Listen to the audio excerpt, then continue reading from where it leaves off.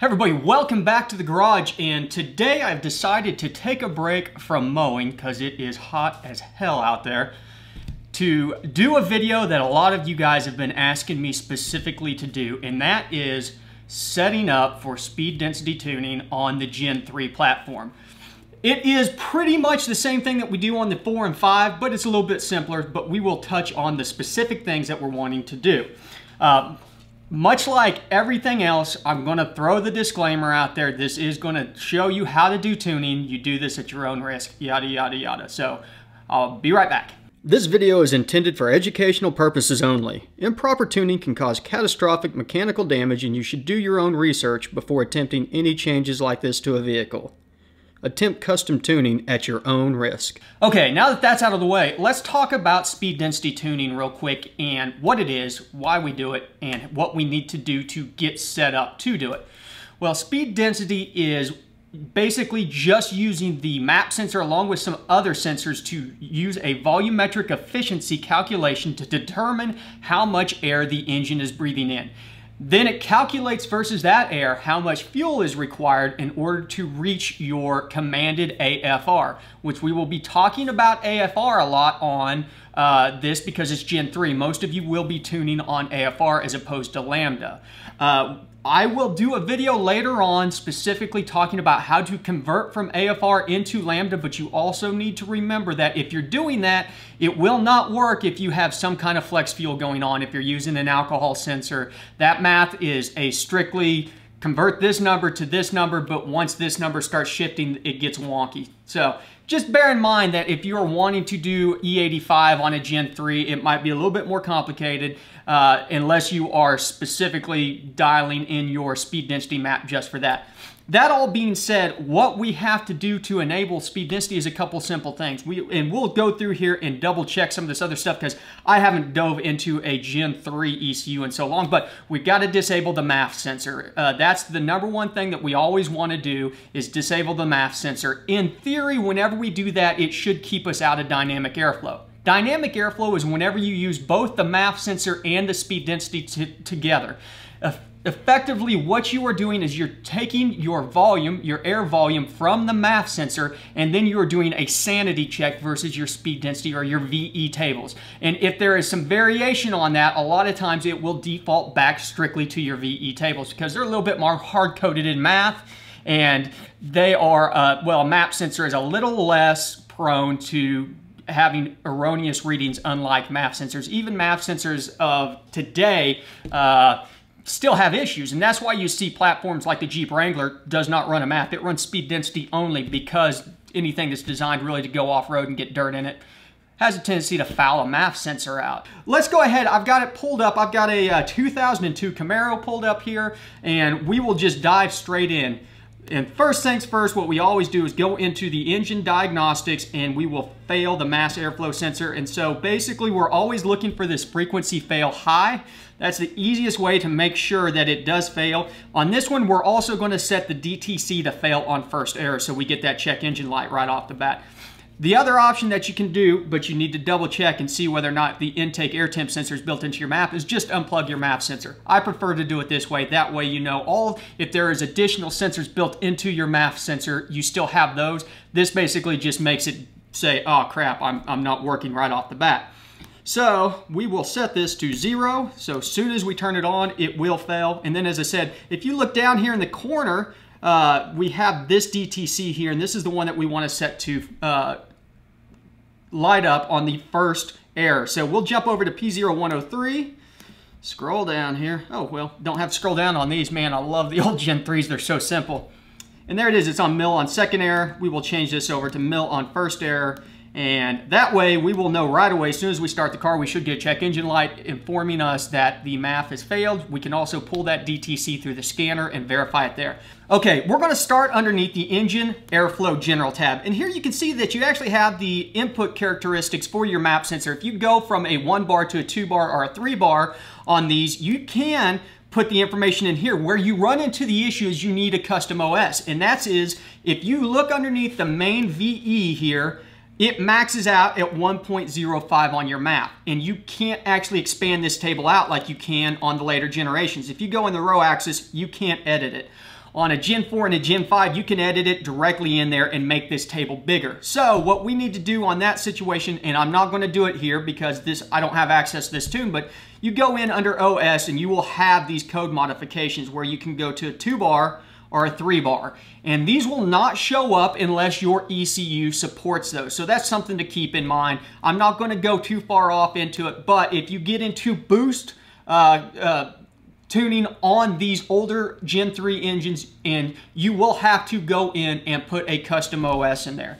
But we will come back to this in a bit and look at our primary VE table. For now, let's go ahead and go over into dynamic air. And something on this one, I always like to do the high RPM disabled. And if you look at the description down below, it says above this RPM, use filtered MAF air mass uh, for predicted calculations. And that's saying that's generally when it switches over at 4,000 RPMs in this case, it would try and use only the map. We're gonna max this out.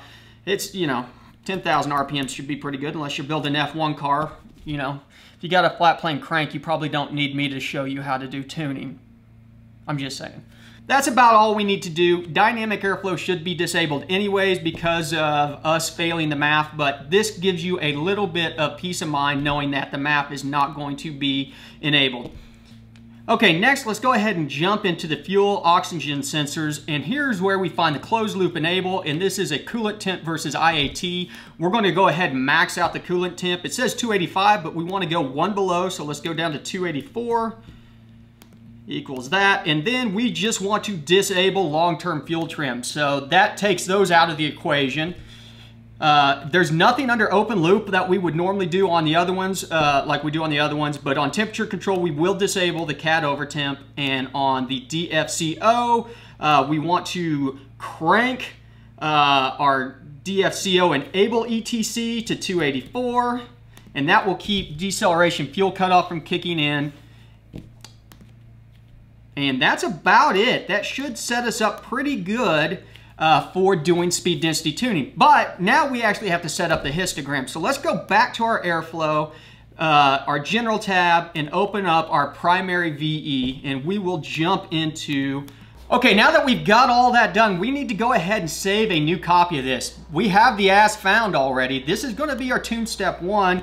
I can't save this because it's not licensed, but this is where you would save it as step one and start tuning against this one. Load this one into your vehicle, and then we will go and set up the histogram. So I've got the scanner pulled up, and this is a 2001 Pontiac, the closest thing that I had a scan file for versus the 2002 uh, Camaro that we were just building off of. But we need to go up and uh, go ahead and set up our speed density histogram. So uh, you need to have these specific PIDs in order to build this histogram. Engine RPM, map pressure in bar, uh, your wideband AFR reading, and then your commanded AFR. We will use those four PFIDs, PFIDs, we will use those four PIDs to build or collect our data, which will then be viewed in our histogram. As you can see, we do not have the histogram set up here yet, but we can still look at data after the fact. I've talked about that in the past where you can build a histogram and use old logs to see things like your error ratios.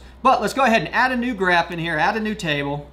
And the first thing that we want to add is our AFR error. So come all the way down to the bottom into Lambda and AFR.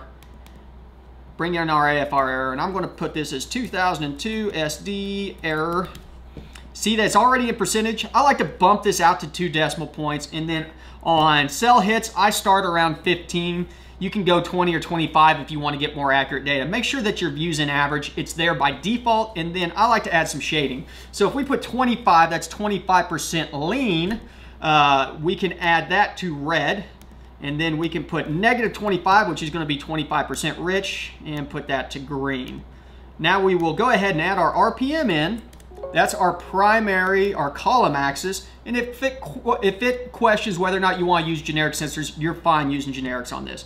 But now that we've got our RPM in, let's jump back over to our VE table, open it up, and copy our column axis labels. That makes it a little bit easier than us trying to manually put all these things in. Now we can just paste it in and there it is. We'll do the same thing. We're going to add manifold. Actually, we just do map. Uh, manifold absolute pressure. It'll ask if we want to use the generic one. We'll go ahead and do that. and then we'll jump back over and now we will copy our row of axis labels and paste those into our histogram. Boom, we're done.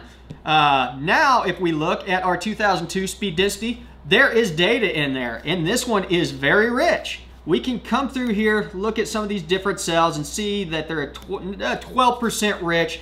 And if you look over here, the commanded versus the actual, this is very rich. They're commanding 14.1 and actually seeing 11.5. So that all looks good. Uh, and that's basically it. After that, you go in, you pull your tune, you copy uh, your log, and then we want to go back over to our VE table, highlight our entire VE table, and then we want to use paste special, multiply by half. We don't ever really want to use the full multiply thing because we will end up overshooting our correction and we will what basically cause oscillation where we go lean to rich, lean to rich. So I try to use that multiply by half. And then if you've got areas in here, like we know that this 84 is, this is why I love Gen 3s. This 84 is probably off because we're 82 here, 81 here, and 83. So best bet is we can put this to an 83 for now. And then kind of the same ordeals. We've got some issues over here that we can use interpolation to fill some of these in. And an 88 is pretty good if you follow that across. It's not getting too wild, but we can fill most of these in and get a better idea of what these will be on these blank spots. And it works so well on the Gen 3s. It's a little little more complicated on the Gen 4s but and the Gen 5s, but it works really well on here. Now we've got some changes in here. Oh, we missed a spot. Let's fill that one in. It's probably going to be eh, 87. If we interpolate it this way, we'll see if it stays the same. It actually goes up to 88. I like it at 87 though. We can also look at the map manually, and it's got some bumps, but I'll be honest with you, if your map is completely smooth, that's because it is a factory default style map that is just thrown into every vehicle. As you tune in specific vehicles with different modifications and stuff on there, your map will start to get lumpy and that's perfectly normal. We are dialing in this speed density map specific to our own vehicles. So just keep that in mind. Now that that's done, we will save this as step two, rinse and repeat. Keep going out there, logging that data over and over, applying it, and then eventually you will get to the point where this table here in your scanner is within two or 3%. At that point in time, go ahead, kick it back over, put dynamic back on, put your O2 sensors back in, uh, enable your long-term fuel trims, and your long-term fuel trims will pick up that last like 2%, no problem. So I wouldn't get too obsessed about trying to get closer than 2 or 3% uh, because you'll get to a point where you'll just end up shooting one direction or the other. I'll be honest with you, I don't know with the way that these maps are set up, with it being whole numbers like a 96, that you can do much more than that because a shift from 96 to 97 on this one cell right here uh, might cause you to swing too far one way or the other way. And so we can use the long-term fuel trims to kind of nudge it to where it needs to be. So we're not looking for uh, dead nuts accuracy on this thing. Said 2%, 3%, you're probably good enough. And if you are concerned about it, err to 2, 3% on the rich side as opposed to, you know, making sure that you don't have any lean spots on the map. That's generally what I do. It's what I'm doing right now on the on the Silverado tuning uh, for the, the supercharger setup now. So um, that's basically it. That is speed density tuning in a nutshell for the Gen 3s. If you have any questions, make sure and hit up the comments below. If you haven't already, subscribe. We're going to be touching on a bunch of different topics. I'm going to try and do more specific generational videos for you guys out there that have these specific questions on how to do it on your platform to shed some better light on the ways of making this happen. As always, if you know, if you want me to review your tunes or anything like that, hit up the Patreon. Hit up the, the questions, you know, and and ask them here because I am trying my best to make sure and get back to you guys in a timely manner with, with answers that will help you out. As always, man, I got to thank everybody who's been supporting the channel, all the new subscribers. You guys are amazing. Uh, you, you know, keep me going, keep me want to make content for you guys. So, you know, I appreciate you taking the time to watch these videos, comment, make suggestions, and everything else. So, once again, thanks for stopping by the garage.